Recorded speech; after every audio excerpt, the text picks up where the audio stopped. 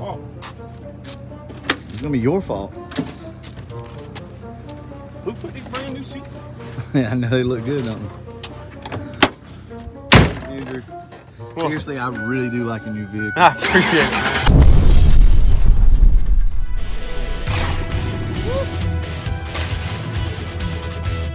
Look at do a burn house. Yeah, back up.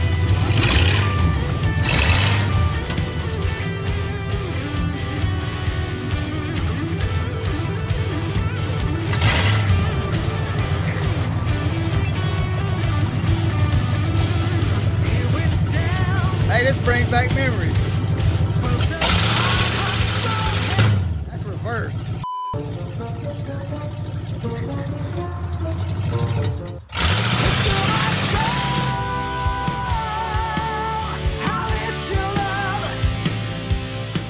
So, as you can see, this is one of the Explorers that I was telling you guys about how you can, you know, you can pick up one of these things pretty cheap.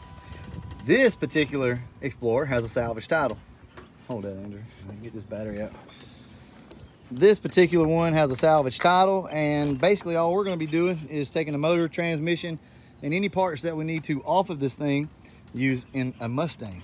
The reason I'm telling you guys this is because that's not something that we often look into is a vehicle with a salvage title. Most of the time, these things are just gonna get crushed. This is gonna be an engine for, actually, I think Nate's actually putting this uh, in his truck, right? So yeah, this is gonna go in his truck. Andrew, drive us, drive us home.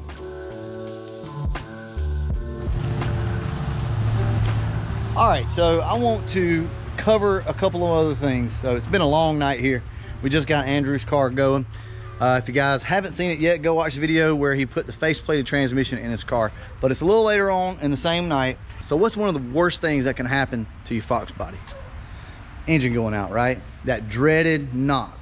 We all know it. We've, we've been there. If you've owned one of these cars or anything long enough, you've heard that knock, that bottom end thud. Maybe you've even thrown a rod out of the oil pan. I mean, it can get ugly, right? At that moment, that's like the worst thing that could ever happen. So the reason why I want to make this video is because I know there's a lot of guys out there that have these cars and maybe you're mechanically inclined, but you don't know how to build an engine or you're not comfortable building an engine and or you don't have the money to go pay somebody to build an engine for you and install it and all that type stuff. There's a lot that goes into building an engine, guys. If you've never done it before, it's not necessarily easy. So what I want to talk about are some of your options. So as you all saw the Explorer earlier, we picked this thing up. Now we got this thing dirt cheap, right? I'm not saying that everybody's gonna be able to get something like this as cheap as what we got, but we're getting this thing for 400 bucks, right? Nate's gonna come in, pull the engine, transmission, everything out of it. Then we have a motor and transmission that we can put in any one of these cars. You can go pick up an engine, transmission, whatever the case may be, out of another vehicle, typically a lot cheaper than what you can go get one built for. Or if you don't have the knowledge and you just don't have the money, you know, you can just go pick one of these things up and it's a lot easier. You got a lot less money in it. Honestly, you got a lot less time too. Wouldn't it be so easy to just grab an engine, a running engine out of a vehicle and drop it in? Now, one of the benefits from the Explorer engine is this has already got GT40 heads, GT40 style intake. It's a pretty good running little engine. That's what's in this car right here. It has GT40 heads off of an Explorer. And this little car runs good, puts down decent power. So you really can't go wrong with that. also, you have your F-150s you can go pick an engine up out of. Uh, vans, a Mercury Mountaineer, a Grand Marquis, uh, a Crown Vic, all of those older cars, same engine, right? So you can go pick that up. I just wanted to remind you all of that. Now, some of you want to build your engines. So this video is obviously not for you. But for those of you, like I said, who maybe are on a budget or just don't have the knowledge, there are other options out there. Trust me. We're going to be picking up another one of these Explorers. We have one left, and we're going to go get this thing and bring it home and pull the engine, transmission, and all that out of it so that we have another motor. If you think about it, the 65 in here needs an engine, right? Now we've got a 289 we could put in here, but it needs to be rebuilt. So what's the quickest way to get an engine in this car? Well, out of one of those Explorers. They run, they drive, you can pull it out, drop it in here while we're building the other engine. So that's also another option for you guys. This engine over here, we'd love to just rebuild it, do something else with it. But if you want to get an engine back in your car and get it running and possibly even leave it, then grabbing something out of another vehicle is always an option anyway. Guys, think about how many Explorers are still on the road and were on the road. The old Grand Marquis, the old Crown Vics, vans, trucks. These 302s are everywhere. And if you really want to step your game up, you can go ahead and put a 351 Windsor in one. Those came in the trucks, vans, stuff like that. So just look around. It's food for thought anyway. Don't think that it's the end of the world because trust me, I've been there. And when that engine starts making a noise, and when you get the bad news that the engine's gone, guys, it, it's a lot of money, especially when you have to pay a shop, right? So I always like to say it's just nuts and bolts. And when it comes to pulling an engine out of a car, it literally is just nuts and bolts. You can find somebody with a with an engine puller or cherry picker, whatever you want to call it. Get a couple friends over, have some beer, some pizza, and you can pull your engine out and drop another one back in. There's really not a lot to it, right?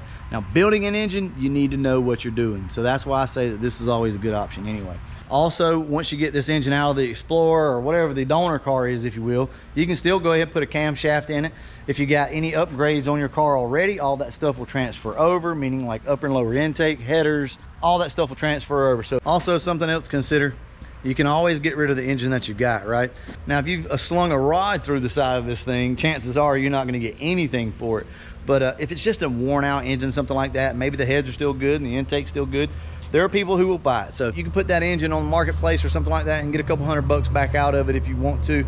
So this will kind of offset the cost. I know not everybody has a large budget. You can't go out and buy the best of the best and you can't afford to pay somebody to build an engine. I can't afford to pay somebody to build an engine for me. We always have to do the stuff on our own.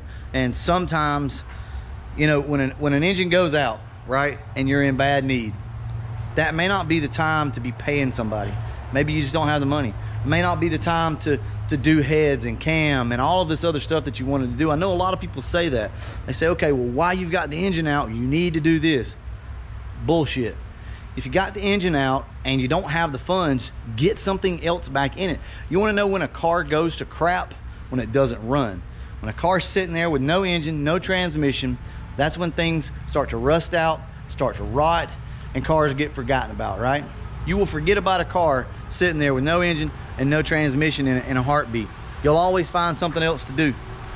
If you can go ahead and stick something else back in it, even if it's not what you truly wanted, and get this car back on the road, get it driving again, you probably just saved that car's life. You can always come back later on and build that other engine once you get some money. I'm just trying to help you guys out, but I'm gonna go ahead, wrap this video up, and as always, thanks for watching.